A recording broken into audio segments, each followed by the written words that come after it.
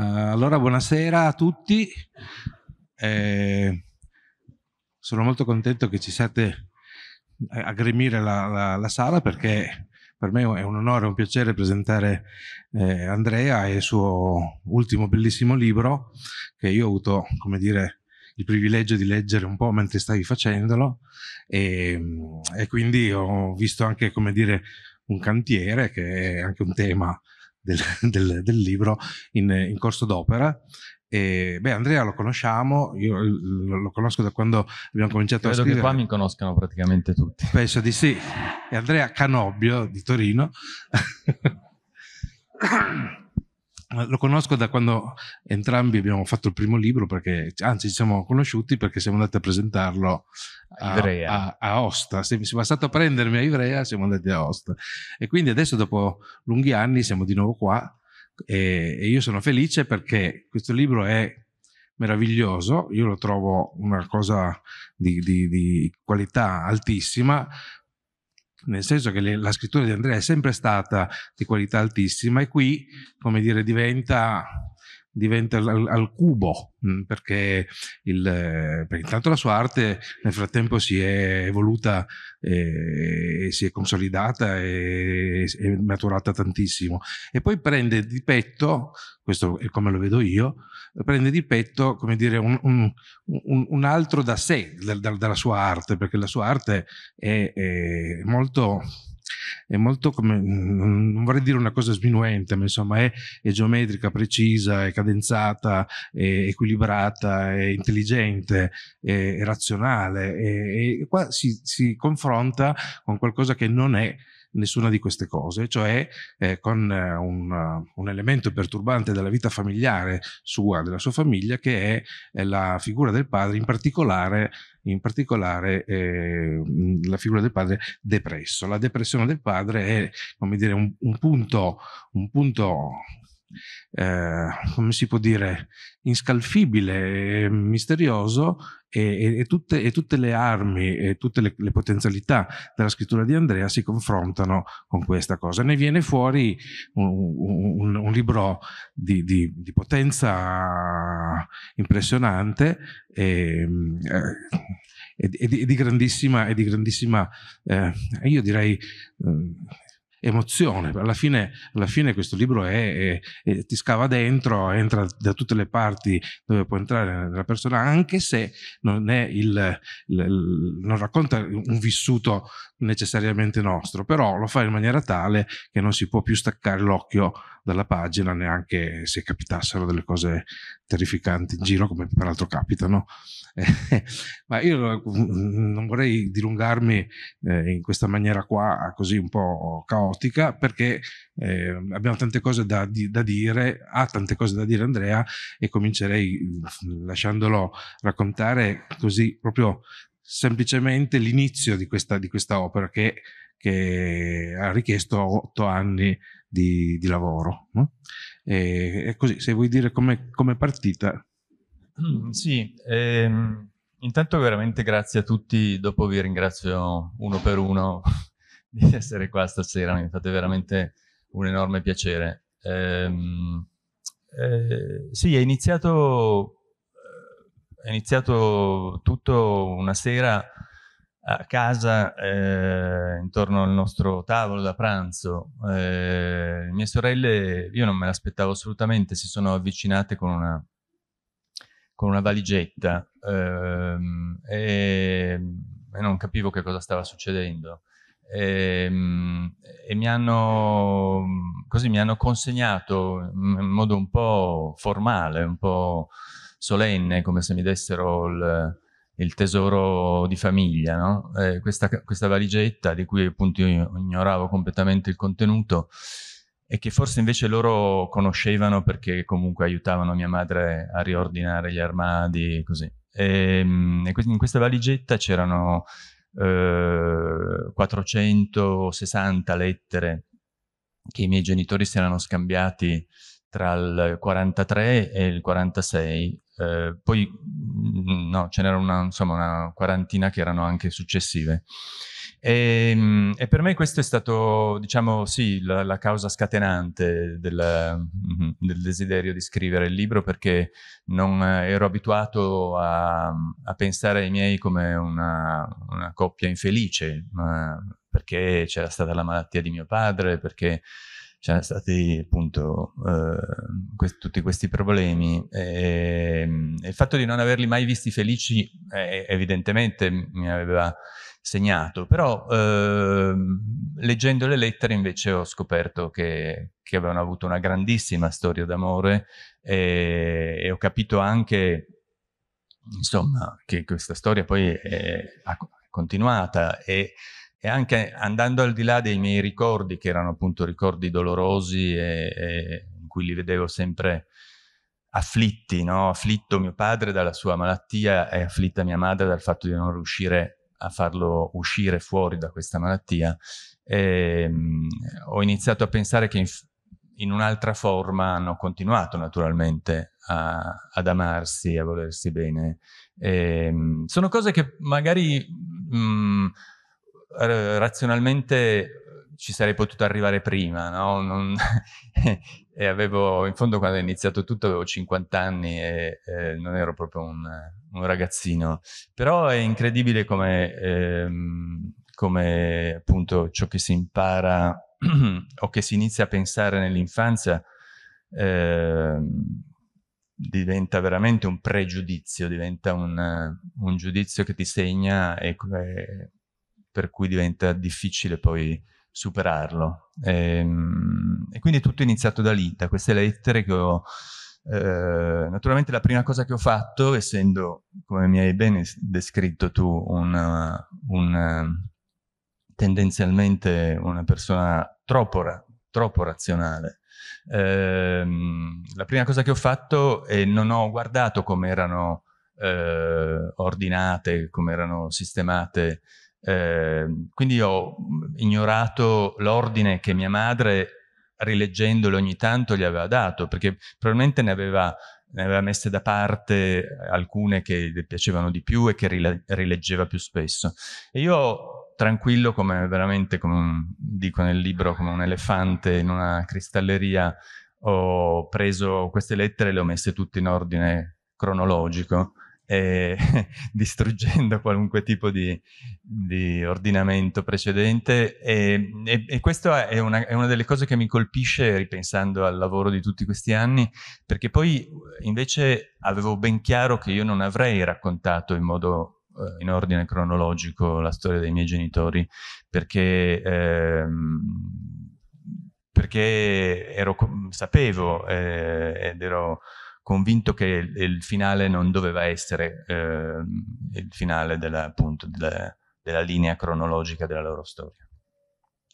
Eh, eh, coglierei eh, questa, questa, indicazione del, del, rimettere in ordine cronologico anziché diciamo tematico no?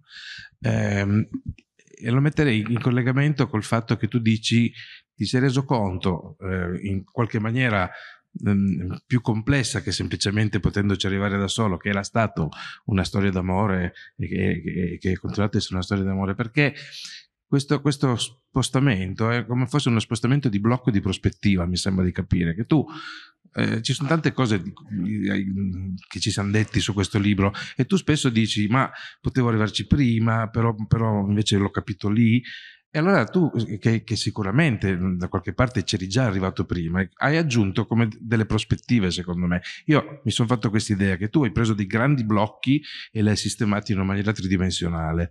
No? Questo libro, è, questo libro è, è, è, molto complesso, ma non è complicato. È, complesso perché perché, perché è, è, fatto bene, è, è costruito eh, in, in, maniera perfetta. Però appunto il, il tempo, eh, il, i, i, temi, tu li hai montati in maniera tale che ne hai fatto un oggetto che per conto mio aggiunge una dimensione ulteriore a quello che tu hai sempre fatto. No? E mi sembrava che potesse essere questo il, eh, la chiave d'accesso per, per questa mh, mm, chiacchierata qua, cioè che, che, tu sapevi delle cose ma poi le hai viste anche oltre, oltre a saperle, no? come se avessi visto, non so, una foto che da bianco e nero diventa colori, una, una, una cosa piatta che diventa tridimensionale, non so, una cosa del genere. Non so se... C'era una cosa molto ingombrante e molto tridimensionale che ehm, fin da subito ho pensato che era il terzo personaggio della, di questa storia ed era la città, eh, Torino, perché i miei genitori hanno abitato a Torino per tutta la vita e quindi io stesso ho abitato a Torino per tutta la vita. E quindi, però, ecco, con una grande differenza, che mio padre si sentiva un torinese autentico. Io invece mi sono sempre sentito un po' un... Esiliato, no? E ho iniziato, e anzi questo, scrivere questo libro è stato un modo un po' anche per uh, riappropriarmi no? di Torino e di eh, così girare, andare a trovare le zone. Perché dico che la, la città era fin da subito presente come personaggio? Perché eh, la prima cosa che ho pensato è che appunto il, il modo migliore per raccontare a mio padre era raccontare, raccontare le cose che aveva eh, realizzato. No? Lui era un ingegnere, era un ingegnere civile, e ha costruito, è stato direttore dei lavori di un sacco di, di, di edifici a Torino. Quindi eh, insieme alle lettere la, la prima cosa che ho, che ho, iniziato a, studiare anche lì, non, non pensando di trovare tan, così tante cose, sono state le agende di mio padre. Eh, nelle agende di mio padre, a un certo punto mio padre ha iniziato non ho, non ho, capito bene eh, perché, alla metà degli anni 60 più o meno, ha iniziato, credo che fosse già un inizio di, di, di, sue, di, sue, angosce, di sue paure, a segnarsi tutto quello che faceva ogni giorno, quello che una data persona gli diceva.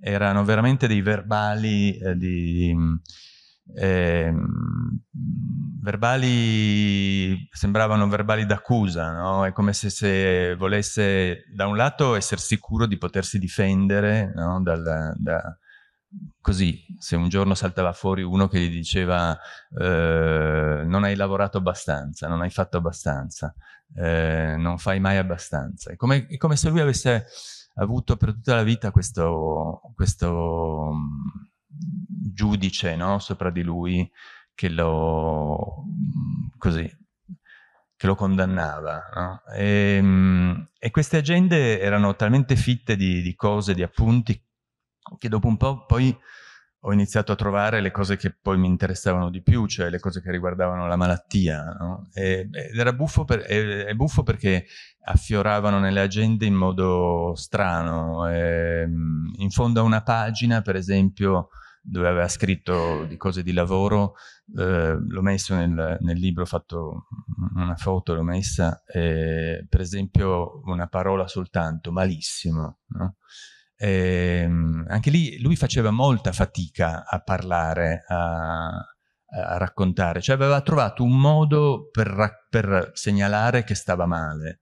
E, ehm, in effetti poi parlava sempre di sé, perché poi la depressione trasforma le persone, no? diventano appunto completamente autocentrate. E quindi parlava sempre di sé, ma, ma in realtà non parlava della depressione, no? Parlava, aveva sempre delle maschere comunque che eh, ed erano problemi di lavoro, problemi immaginari di salute, problemi eh, con altre persone. E quindi mh, quindi sì, ecco, per ritornare alla domanda che mi hai fatto, eh, la tridimensionalità viene, viene, dal fatto che doveva essere calato nello spazio, no? cioè doveva essere una, una storia eh, smontata nel tempo, eh, ma calata nello spazio, come se eh, avessi... Parlo molto del, della passione dei miei genitori per i, per i mobili eh, a ribalta, no? eh, avevamo in casa questi, queste ribalte che si aprivano e c'erano i cassettini e dentro i cassettini c'erano delle, delle eh, scatoline oppure dei, nei cassetti c'erano eh, delle cartelline, dentro le cartelline dei fogli. E questo mh, accumulare eh, di cose ehm, che è veramente un tratto familiare. Ehm, non, insomma, non siamo accumulatori seriali, però quasi. Diciamo che siamo sempre lì sul, sull'orlo di, di, diventarli. E, e, e, questa cosa credo di averla eh, ripresa nel libro, cioè ho, ho veramente costruito come se fosse, del, fosse un, un, mobile con tanti cassetti in cui ho infilato no, i ricordi, le associazioni di idee legate a quei ricordi. E, ehm, ed è venuto fuori sto mattone. È vero, polpettone. Mattone, fa sempre parte. Mattone, doveva essere un mattone per forza, sì, doveva sì. essere un mattone per forza. Sì, ma, eh, su spazio e tempo tornerei eh, eh presto, ma per adesso qualcosa di, di, come dire, di introduttivo al, al, volume. Cioè tu prima mi dicevi che ci hai impiegato otto anni, che questa cosa ti stupisce ancora ora. No? E quindi se ci dici qualcosa di che rapporto hai avuto e hai con questo lavoro ehm, magnifico che hai fatto.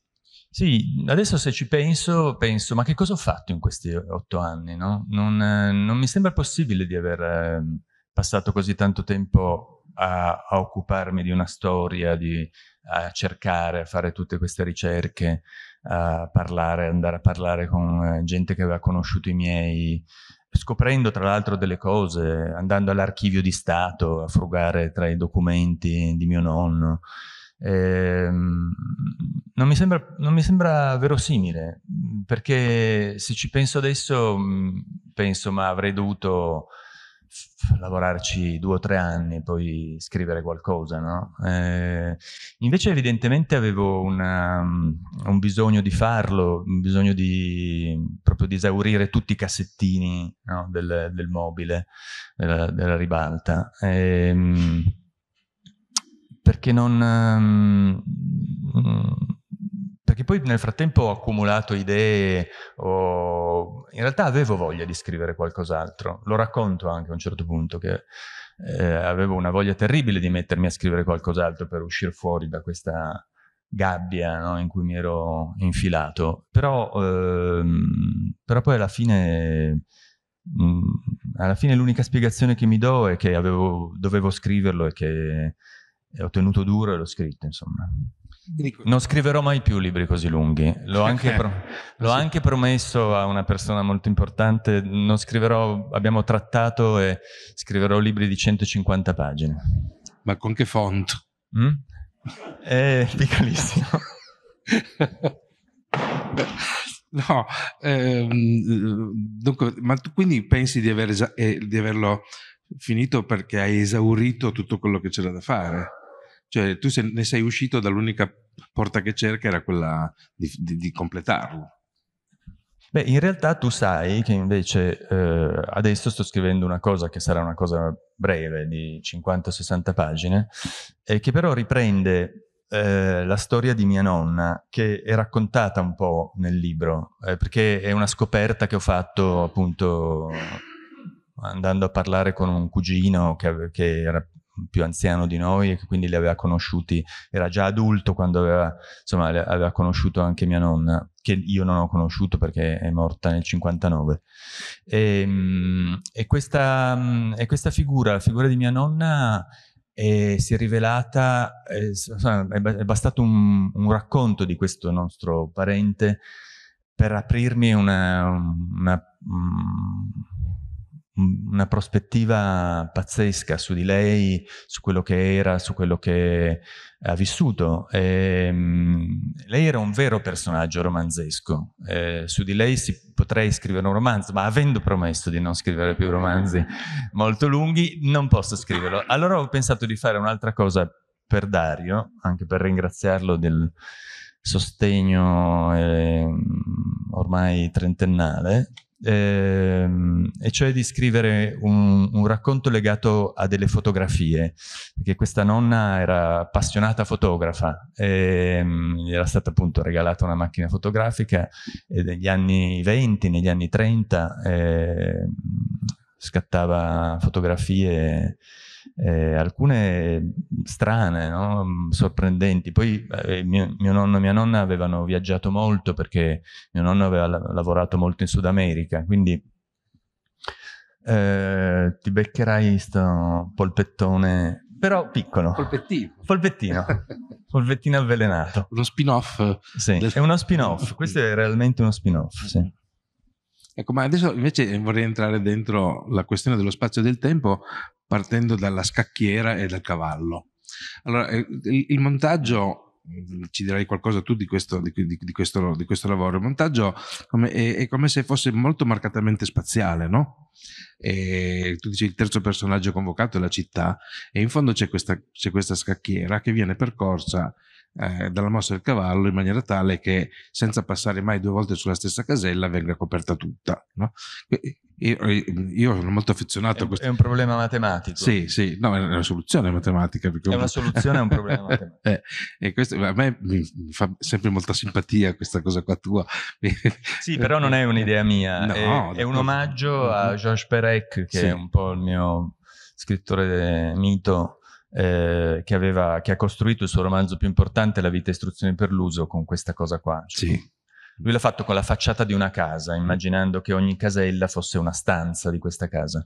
Eh, eh io ho semplicemente ruotato la, la griglia, l'ho, l'ho, messa, l'ho appoggiata sulla città e appunto ho immaginato di muovermi da un posto all'altro con questa mossa del cavallo. Ecco, però poi il cavallo, come ci diceva sì, prima... ma in realtà appunto una delle, delle prime cose che ho a cui ho pensato era questa immagine comunque eroica che avevo di mio padre che però in, nel frattempo poi durante tutta la mia vita avevo così mh, passato il tempo a sminuire, a, a, ad accusare, accusare di essere malato, no? queste, queste, cose assurde che se ci penso appunto non, non, riesco a farmene una ragione, però di fatto quello che, che facevo era questo. Ehm, e nello stesso tempo, eh, come tutti i bambini, avevo di lui un'immagine eh, eroica che era, era, molto legata al suo essere stato un militare. Lui aveva fatto l'Accademia del, del, Genio qua a Torino, eh, ha fatto, poi appunto è partito per la Russia, è riuscito a tornare.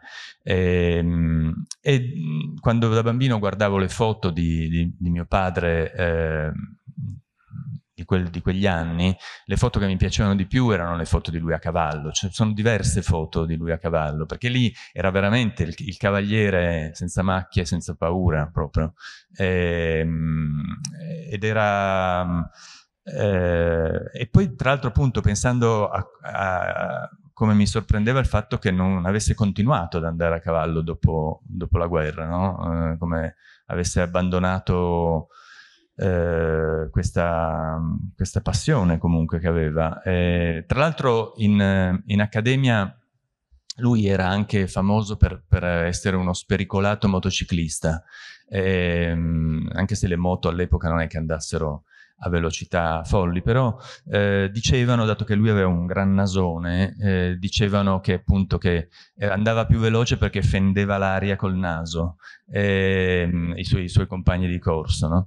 Il, um, quindi c'era questa idea del centauro, no? del centauro del dell'essere appunto a met metà cavallo, metà uomo e, ehm, e ho iniziato, mh, mm, questa è un'immagine che ho ho già usato eh, parlandone con Dario diverse volte, ho iniziato a, a, a provare con, questa, con questi, questa, figura del cavallo, come poi per, con, con altre immagini del libro, un po' la sensazione che si ha quando si, si, mette la limatura di ferro, avete presente? Era un esperimento che si faceva una volta eh, con, una, con, una, calamita, no? La, la, limatura di ferro viene attirata dalla calamita. E, e così que queste figure, una di queste appunto il cavallo, ha iniziato ad attirare tutta una serie di, di immagini, no? e, la, appunto la mossa del cavallo degli scacchi è, un, è, una mossa strana perché una, um, sembra un po' un pezzo che va avanti barcollando, no? va avanti a zig zag. In realtà è una mossa molto astuta perché permette di, di scavalcare dei, dei, pezzi, per esempio. E, um, di nuovo, quindi c'è questa ambivalenza, c'è una debolezza e, e, una, e, un aspetto invece di, di forza. E ho iniziato appunto a trovare tutti degli elementi che a mano a mano che mi ehm, che legavano il cavallo a mio padre. No? E, e nel, appunto nel libro racconto che, di questa idea mm, che mi, che mi, sono fatto che il cavallo fosse il nostro animale totemico, no? il nostro totem di famiglia.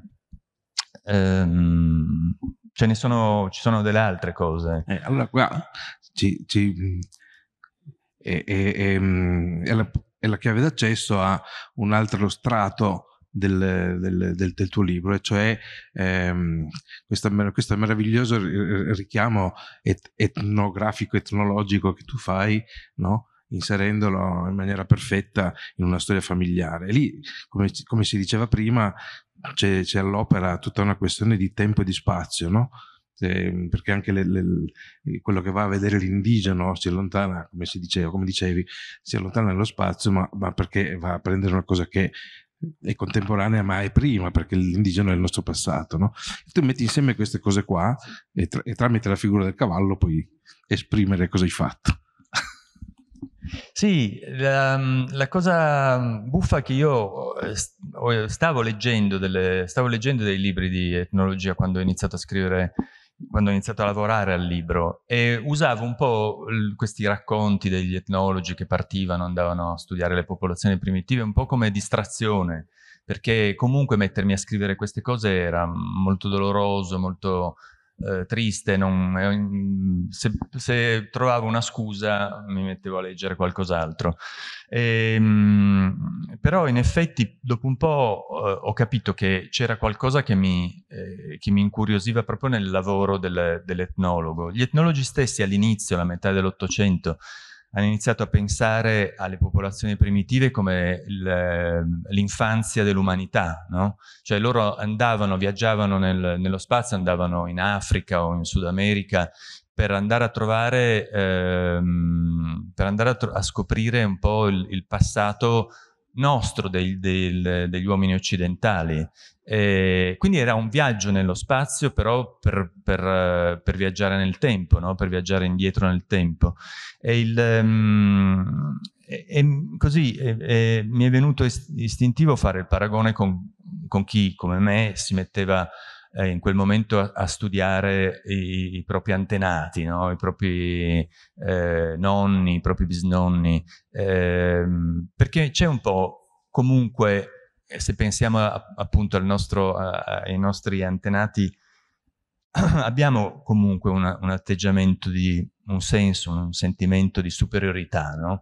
Per prima cosa sappiamo come è andata a finire, sappiamo che certe scelte che hanno fatto loro magari erano scelte sbagliate, no? Abbiamo il famoso senno di poi, per cui ci sentiamo anche di giudicarli, di giudicare le loro scelte.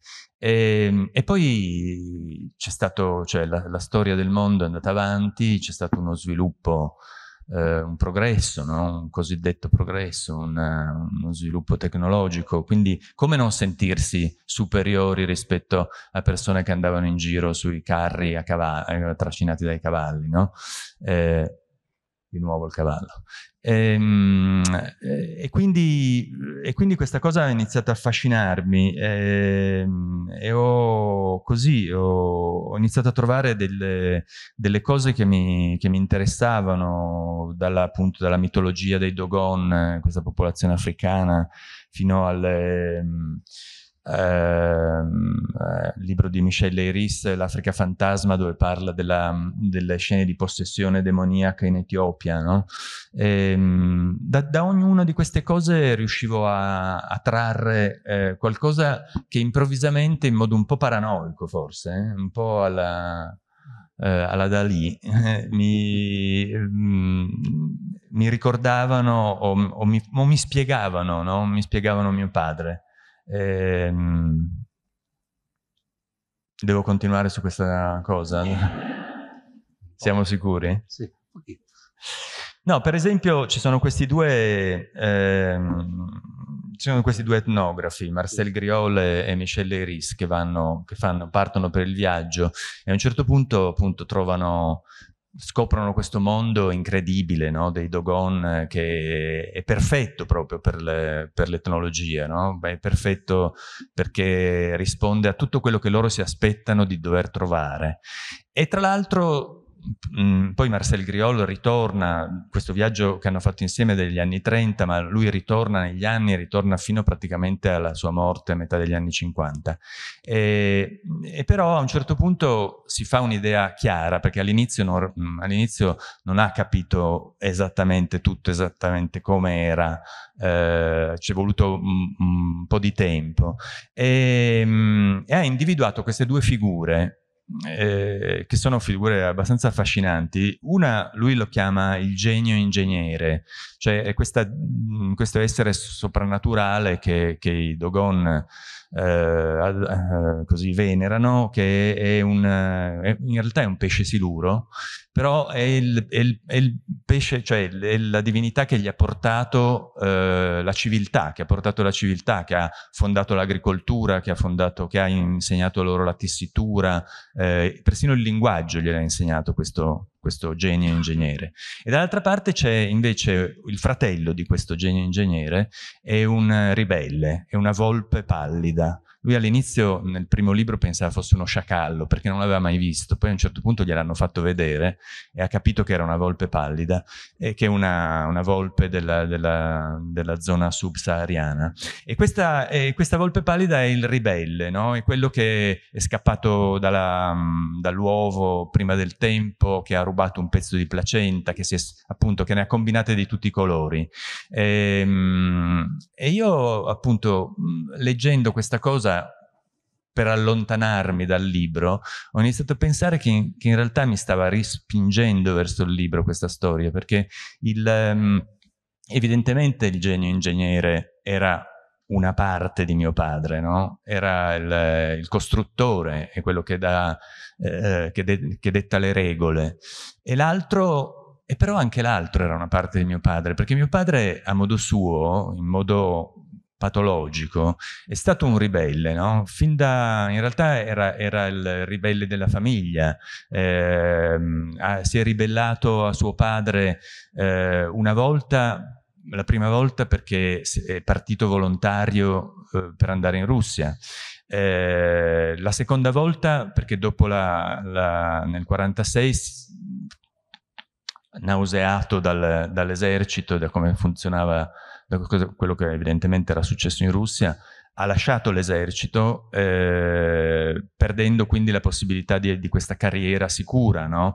e, e ho, ho, trovato appunto le lettere, le lettere con cui mio nonno cercava di convincerlo peraltro delle bellissime lettere, delle lettere eh, che io che non ho conosciuto mio nonno mh, mm, mi hanno fatto voler bene a mio nonno, perché eh, chi, chi, eh, mettendomi nei suoi panni, no? chi, che, padre non cerca di eh, proteggere il figlio, no? di fargli fare la scelta giusta? E per lui la scelta giusta era quella di stare lì, di stare in un, in un lavoro sicuro tanto più che ormai la guerra c'era stata, no? Non, non c'era il pericolo che ce ne fosse un'altra. E quindi, e quindi lui invece si è ribellato, se n'è andato dall'esercito, ha iniziato a fare l'ingegnere libero professionista eh, e, gli, e gli è andata straordinariamente bene, ha avuto molto successo, però qualunque successo non era abbastanza, cioè qualunque, qualunque risultato, qualunque obiettivo raggiunto non era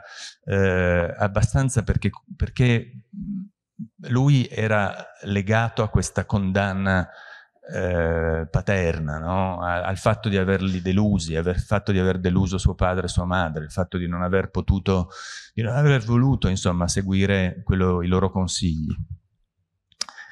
E quindi sì, e quindi a un certo punto ho capito che potevo leggere qualsiasi altra cosa di, etnologia, ma anche non di etnologia, e avrei trovato qualcosa che riguardava mio padre. Questo fa eh, parte della calamita? Della... Sì, della calamita, per cui a un certo punto ho pensato basta, adesso non leggo più niente. eh. no, eh, vorrei costellare un po' attorno al, al concetto di giudizio alcune parti del, del, dei livelli del libro, no? nel senso che tu eh, prima dicevi, vabbè, eh, gli, gli etnologi vanno con un senso di superiorità e ci mettono un po' all'interno della loro scienza a stabilire che invece c'è una parità. Poi tu dicevi che eh, um, giudicavi tuo padre, no? e, e anche se razionalmente ti sembra impossibile che averlo fatto, però hai dovuto fare anche tu un lavoro per non eh, rimanere lì nel giudizio. Lui è sottoposto a autogiudicantesi come, come mh, mm, ribelle che non doveva fare il ribelle, anche si è incastrato un po'. No? Quindi attorno alla questione del giudizio, che cosa, cosa diciamo di questo, di, di questo libro? Ma, eh, una delle cose che ho pensato subito è che non volevo scrivere l'analisi psicologica né mia né dei miei genitori né mh, cercare di, di, analizzare le dinamiche perché non sono uno, uno psicologo, uno psichiatra non, e non sarebbe venuta fuori una cosa dal mio punto di vista divertente. La cosa che io ho fatto è di iniziare a scrivere e di cercare di far uscire fuori eh, delle cose che avevo dentro e che non sapevo nemmeno di aver dentro. Per esempio, quando ho iniziato a scrivere di mia madre, io non avrei mai pensato che mi venisse fuori eh, il sarcasmo che ho usato in certe parti per parlare di mia madre, no? per parlare di certi atteggiamenti di mia madre, eh, perché il sarcasmo è un, è un sentimento violento, no?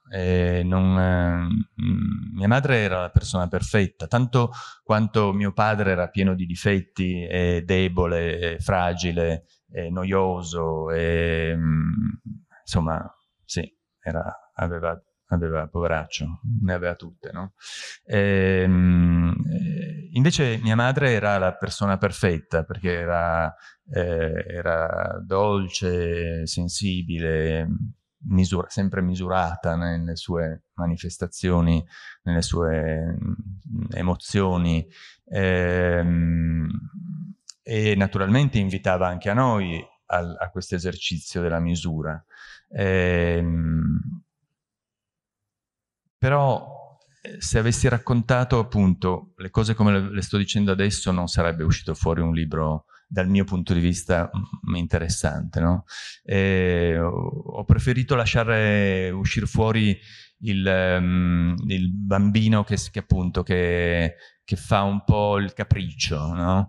Eh, c'è una scena che è la scena mitologica fondante del culto della misura nella mia famiglia ed è la scena in cui ehm, noi al, al, mare, mia madre non voleva fermarsi il pomeriggio in spiaggia e quindi ci portava a casa. Eh, tutti i nostri amici, i nostri cugini si fermavano in spiaggia, noi invece dovevamo andare a casa. Allora io uscivo dai bagni frignando, lamentandomi e chiedevo qualcosa in cambio, chiedevo una, eh, e quindi per esempio chiedevo di poter tornare a casa, noi stavamo in una casa sulla collina di Pegli e chiedevo di poter tornare a casa in taxi, ma questo era una cosa ridono per tutti quelli che mi conoscono. Eh, è una cosa che assolutamente mia madre era contraria per principio a prendere il taxi, quindi non c'era verso di convincerla. Allora andavo avanti con le richieste no? e, e, a un certo punto arrivavo all'ultima spiaggia, no? proprio l'ultima richiesta possibile e le dicevo almeno pesami, perché lì sul lungomare c'era una bilancia. Era una bilancia dove bisognava mettere dei, credo 10 lire o 5 lire probabilmente, mi dicono dalla prima fila 5 lire. E, ehm, e poi eh, uno si pesava e veniva fuori un talloncino eh, che da una parte aveva delle figure di soldati o di personaggi storici. E, ehm, e quindi sì, la, la, cosa era almeno, almeno questo, cioè almeno pesami, però il peso era, era un segno, no? era un, un, segno di adesione al suo culto per la misura, perché, eh, come dire, gli, le dicevo, vabbè, sto facendo i capricci, però sto dalla tua parte, no? sto dalla tua parte. So quanto è importante essere in forma, eh, non, non, esagerare mai a tavola, eh, insomma.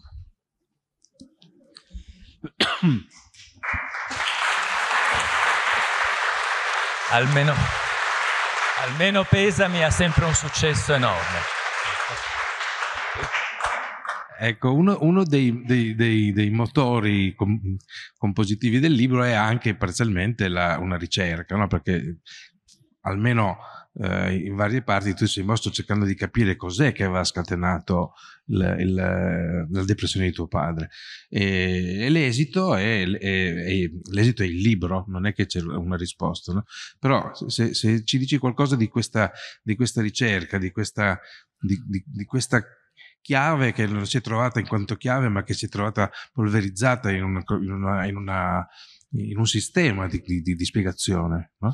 Sì, ma io, io in realtà all'inizio pensavo che qualcosa l'avrei capito, cioè che avrei trovato una, una ragione più forte delle altre per, che, che, avesse, cioè, che avesse causato questa, questo, questo improvviso crollo eh, psicologico di, di, di, mio padre. E, e, di ragioni ne ho trovate, ne ho elencate tante perché eh, appunto partendo dalla, dalla guerra, dal, quindi da, da, un, da, un, ipotetico trauma in guerra, da, mh, mm, anche soltanto il trauma eh, di cui lui ogni tanto parlava, di questi soldati che aveva della sua compagnia, lui comandava una piccola compagnia del Genio Trasmissioni e, ed era molto orgoglio, orgoglioso di averli portati indietro, erano in 37, no?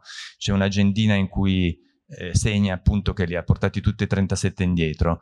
E poi sono tornati a maggio e a luglio, a metà di luglio c'è stato un tremendo bombardamento a Torino eh, del, del 43 e alcuni di questi sono morti in questo bombardamento dopo essere, dopo essere riusciti a tornare dalla Russia.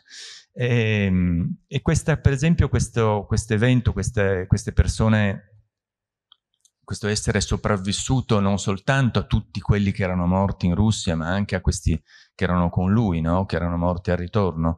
Eh, lo lego ad un, ad un, evento che poi era, è successo poco prima che lui stesse male e che molti medici indicavano come la causa scatenante veramente della sua depressione. C'è un, un, incidente in un cantiere in cui erano morti tre operai. E ora, lui mm, non era assolutamente innocente, non aveva, non aveva ancora assunto l'incarico, non aveva mai visitato il cantiere, no? Però eh, comunque c'era stata un'indagine e c'era stato un articolo sulla stampa, che all'epoca era una cosa importante, cioè l'avevano nominato nome e cognome e anche l'indirizzo di casa, no? E per lui questa era una, stata una cosa come se l'avessero scritto sul marmo, no? eh, lasciandolo... Non, era una cosa che era insuperabile, c'era una vergogna insuperabile, perché comunque qualcuno, eh, tra l'altro dei suoi colleghi che avevano fatto una perizia su questo cantiere, eh, avevano dubitato di lui, no? E quindi improvvisamente gli era crollato il mondo addosso, letteralmente, nel senso poi sicuramente aveva, essendo poi il, il tipo che era, si era sentito comunque in colpa per questi, questi operai che erano, questi muratori che erano morti. E, ehm, e quindi sì, ci sono ci sono tante cause, eh, poi, poi sì, ho indagato anche sulle cause familiari perché eh, c'era la storia di... lui aveva un fratello più vecchio che in famiglia veniva sempre indicato un po' come modello, no? come la, la, il figlio perfetto a cui lui doveva, doveva sempre ispirarsi, però questo modello poi a un certo punto era irraggiungibile eh, perché non, non, nulla bastava mai, come, come, appunto vi ho detto prima, nulla era mai sufficiente a farlo avvicinare anche soltanto a questo, a questo modello di perfezione. E, sì, e quindi... E quindi, sì, e quindi, no, e quindi, quindi, quindi alla fine, alla fine le, Ehm, trovo, trovo, diverse ragioni possibili, però, um, però, mi sembra che manchi sempre qualcosa, no? mi sembra che, eh, che, la depressione e il modo in cui l'ha vissuta lui per 30 anni eh,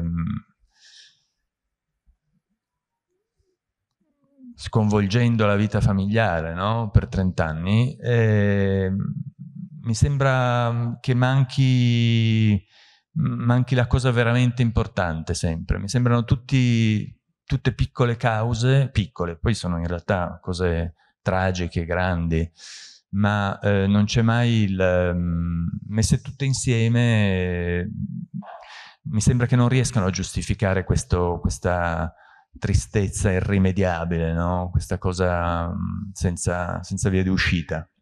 Ecco, però come, come, come esito questo libro che, che ha, ha, la capacità, che è, forse è, è squisitamente mh, appannaggio della scrittura, forse anche altre arti, ma adesso mi viene in mente che quando, quando la scrittura riesce, riesce, riesce a fare questo piccolo passaggio quantico, No?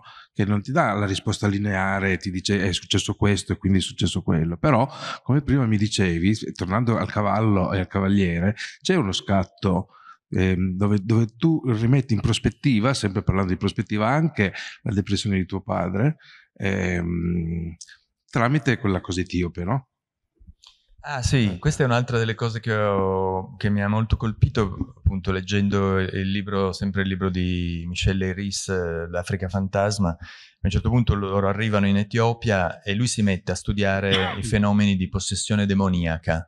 Del, è una delle cose che viene fuori è che eh, questi demoni che prendono possesso no, dei, dei malati ehm, li usano come cavalli. Cioè loro, loro gli etiopi, dicono che il, il, malato è il cavallo del, del, del demone. No?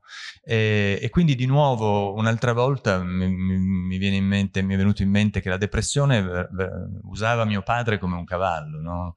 Eh, lo... Um, era, era, non era tanto dentro di lui, era sopra di lui, no? Era sopra di lui e lo, lo guidava. Ehm, sì, sì. In realtà, per raccontare l'uscita possibile da questo libro, mi viene in mente un'altra immagine che ho usato prima, che è quella della, dell'accumulatore seriale, ehm, perché c'è qualcosa dell'accumulatore seriale in questo libro, cioè il fatto di ficcare dentro in, questi, in ognuno di questi spazi della città i, i ricordi più dolorosi, eh, come se lì potessero stare, no? come se mh, mm, potessi disfarmene. Naturalmente non lo so ancora, devo verificare poi. Beh, ehm, se hai avuto successo. Sì. Insomma, tu hai fatto un, un, lavoro pazzesco in realtà in questo libro qua, perché poi se vai a vedere hai messo insieme anni, spazi, eh, cambiamenti di, di, di, punto di vista, cioè alla fine questo è eh, un, un resoconto di, un, di, una trasformazione in realtà, no? Eh, che, dove tu ti sei trovato praticamente a, a fare i conti senza poterne uscire finché appunto non è, non è stata esaurita. Come, come, lo, come, lo, vedi adesso che è là? Cioè, lo, lo vedi anche tu come un, un risultato... Un mattone. Un mattone. Vabbè, però. Per fermare le porte. Per fermare le porte, capito? Ma invece anche dentro il mattone.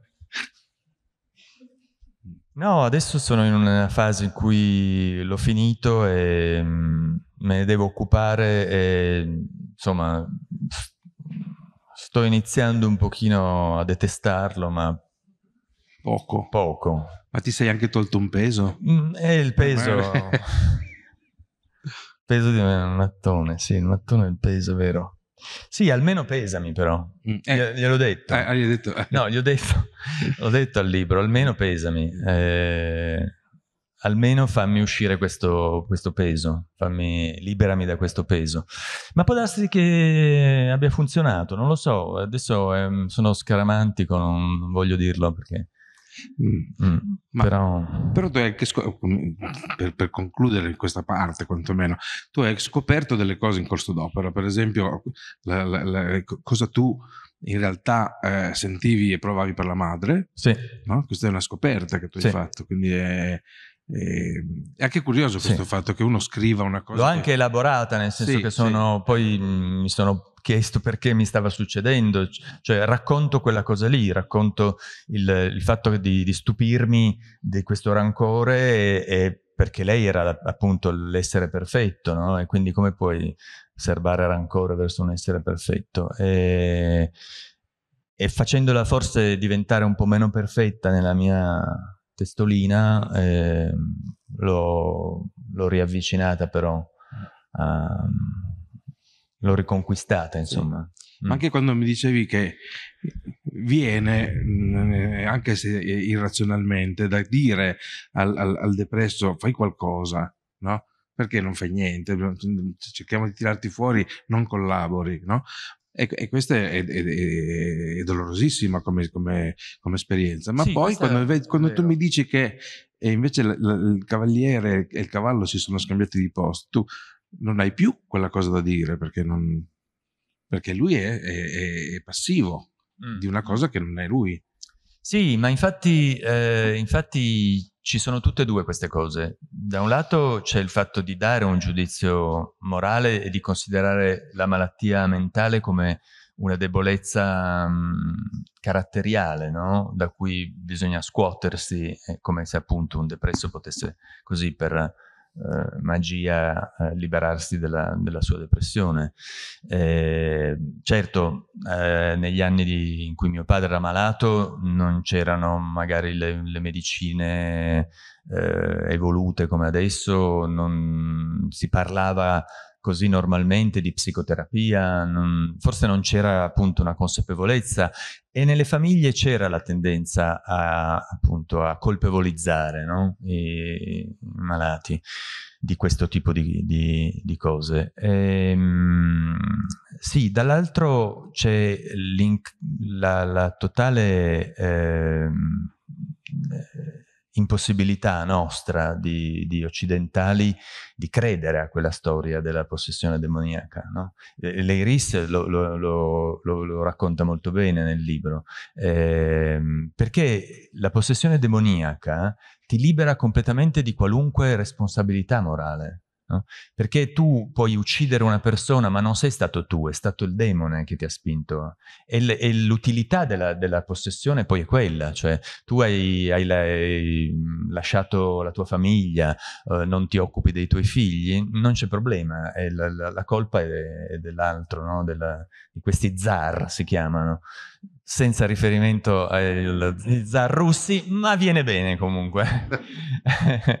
e, um, si chiamano zar e sono appunto sono dei, delle figure eh, demoniache che ti, che ti costringono no? a, a, comportarti in un certo modo.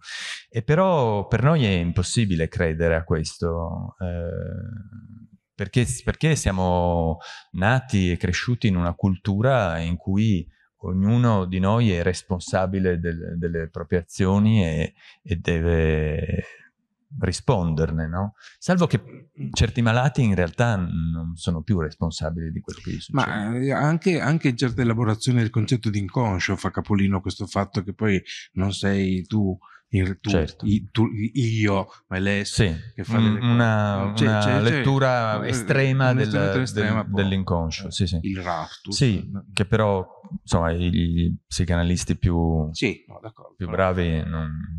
Sap- sì. Sappiamo di cosa si parla. Sì, no? che... Ma eh, cosa posso ancora dire? Che il titolo è bellissimo. Grazie. Quando è arrivato questo titolo qua? Eh, non me lo ricordo. Non me lo ricordo, ci ho messo talmente tanto tempo che... No, non lo so, a un certo punto mi è venuto in mente che doveva essere un viaggio, eh, che era un viaggio certamente notturno, no? E poi, poi eh, vi ricordate la storia che vi ho raccontato di Nommo e di, della Volpe Pallida? E, beh, a un certo punto, eh, eh, leggendo di cose del Museo Egizio, qua di Torino, eh, ho avuto un'altra illuminazione, cioè, poi ho scoperto che in realtà è una cosa che hanno studiato un sacco di, di etnologi, di antropologi, di mitologi, eh, e cioè che le, la, questa mitologia Dogon in realtà è, è, molto legata alla mitologia dell'antico Egitto. Addirittura ipotizzano che i Dogon fossero una delle tribù eh, discendenti da una delle tribù egiziane che si erano eh, disperse no, per il Nord Africa eh, nei, nei, secoli insomma, successivi alla, alla, fine della civiltà egizia. E perché? Perché la, la, la mitologia um, egizia eh, ricalca, no? ci sono um, queste, queste, due figure. Osiride esattamente, eh, cioè esattamente molto simile a questa figura del, di Nommo e, e, Set, suo fratello, è molto simile alla volpe pallida, no? il, il, il, ribelle. E, um, e quindi c'è, la guerra tra loro due eh, che, che, appunto che, mm, eh, e, vabbè, e studiando queste cose del, dell'antico Egitto sono capitato sulla storia della, mm, della traversata che fanno fare insomma le, le, tutte queste divinità al, al morto nel, nel, nella notte successiva appunto alla, alla, sua, alla sua, scomparsa eh, per portarlo per fargli attraversare la notte e portarlo ad, una, ad un nuovo giorno, ad una nuova alba. E, il, um, e quindi questa traversata notturna mi è sembrata, mi è sembrata un titolo corretto, no? Perché anch'io forse cercavo di, di accompagnare i miei genitori fuori da me, no? Fuori da me e portarli eh, verso, una, verso una non so dove, ma insomma, che si togliessero un po' dai piedi. Ma io vorrei ancora dire una cosa, poi, perché il libro non è esaurito in abbiamo parlato, in questa chiacchierata, il libro è molto più complesso e ricco. È, è un elemento che vorrei sottolineare è che c'è spazio per tanti momenti di mh, terza tenerezza, no? Che magari mm, mettendo insieme tutto quanto eh, può, può, può, venire in mente che, non, che, che, sia stipato e non ci siano queste zone franche, invece, invece eh, ce ne sono tantissime e sono, mh, mm, mi hanno proprio, come dire, stritolato il cuore quando, quando vedevo il, il, il, tuo dire di te bambino delle cose in relazione a cosa il bambino diceva da papà, no? per esempio quella cosa del supermercato, e quello è proprio, pam. Ah. Eh. Eh, voglio dirlo, non è che c'è altro da dire. Sì, ma credo che ci siano delle scene... Mm, beh, tutto l'ultimo capitolo, se non... Mm, vi autorizzo a saltare tutto il libro, ma leggete l'ultimo capitolo. Perché l'ultimo capitolo mm, è stato, sì, è stato un capitolo liberatorio perché finalmente dopo aver scritto tutte, cose, tutte queste cose tristi e dolorose ho raccontato la loro storia d'amore, no? ho raccontato le loro let le lettere e ci sono anche delle cose buffe perché eh, la, la, calligrafia di mia madre che era, scriveva in modi assurdi, svolazzanti e non era praticamente in grado di fare un, un numero 29 che si leggesse come 29, cioè tutti i postini leggevano 2S. Eh, per cui le lettere non arrivavano mai. No? Eh, mio padre correva su e giù per via Gioberti rincorrendo i postini chiedendogli se avevano nella borsa una lettera per lui. Mm. Eh, poi la cosa buffa è che fino a, eh, durante la guerra, come potete immaginare, la posta era mh, mm, un disastro, no? E quindi loro cercavano appunto di scriversi, di, di, eh, di comunicare, di, di, ottenere, di ricevere notizie, però eh, in qualche modo le lettere arrivavano. Poi appena finita la guerra c'è stata proprio, secondo me, la rivolta dei postini di Via Gioberti, no? perché hanno iniziato a rimandarle al mittente, sistematicamente proprio. Non, eh, non, volevano più consegnarle queste lettere in cui l'indirizzo era scritto male.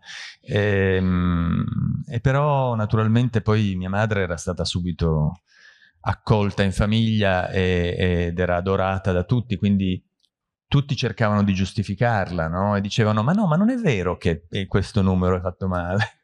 In realtà si legge, è proprio il postino che è scemo, non riesce a leggere. Che, sapeva benissimo che però era quello l'indirizzo. Ma sì, chiaramente, è, è stato chiaramente una, un atto di ribellione del postino che non ne poteva più ogni volta di dover capire che numero fosse. Eh, era una volpe pallida. Era una volpe pallida, sicuramente. Però anche mia madre era un po' una volpe pallida, perché questa storia della volpe pallida sì. funziona, è una funzione, sì. no?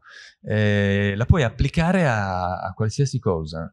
Eh, Ci poteva anche scrivere 9, volendo, no? Cioè, lei, eh, dici, mia madre, sì, sì. Eh, ma non ci riusciva, faceva un 9 che partiva così e diventava una S.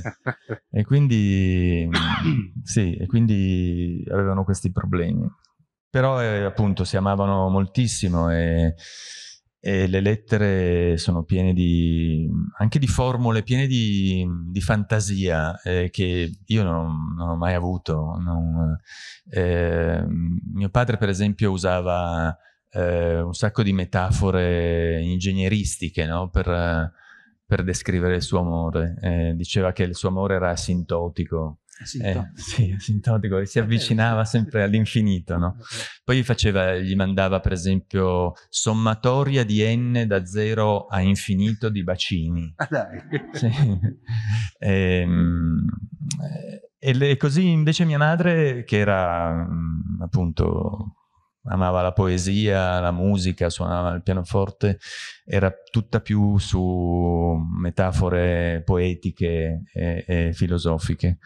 Ehm, no, sì, quello è stato un momento eh, bello, un momento bello in cui ho dovuto occuparmi di perché ho voluto anche, mh, mm, ho voluto incastonare le loro frasi nel mio racconto, per cui il racconto scorre di, queste, di questi tre anni in cui sono stati fidanzati, eh, ma ogni tanto c'è una frase che è una frase che viene dalle loro lettere. Ed è stato, mh, mm, è stato un bel esercizio di, di scrittura, questo per esempio. Eh, di cui sono molto orgoglioso. Perché, perché beh, sembra che parlino insieme a me, no? Eh, sì, a distanza di, di tempo. Eh, sì.